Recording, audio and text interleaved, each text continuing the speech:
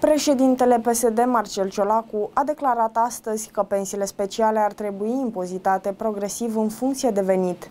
Acesta a mai spus că s-a săturat ca la fiecare discuție să apară tot felul de tiriplici care vin și își dau cu părerea după ce au distrus România și să spună ce se întâmplă și cum creionează ei viitorul luminos și cât de bună este cota unică. Conform Digi24.ro, ne dorim o societate normală, justă sau vom continua să fim pompieri de serviciu. Eu și PSD nu ne dorim. O să facem parte dintr-o coaliție în care venim cu programe pe termen scurt, mediu și pe termen lung, ceva predictibil și discutat cu toată lumea, fără să impunem noi PSD sau PNL ceva. M-am săturat, au rezolvat pensiile speciale în 30 de zile. Eu n-am pensie specială. Cred că în zona de pensii speciale trebuie venită cu o impozitare progresivă în funcție de venit și să închidem acest subiect în România. M-am săturat la fiecare discuție să apară tot felul de tiriplici care vin și își dau cu părerea după ce au distrus România și să spună ce se întâmplă și cum creonează ei viitorul luminos, cât de bună este cota unică care nu mai există în România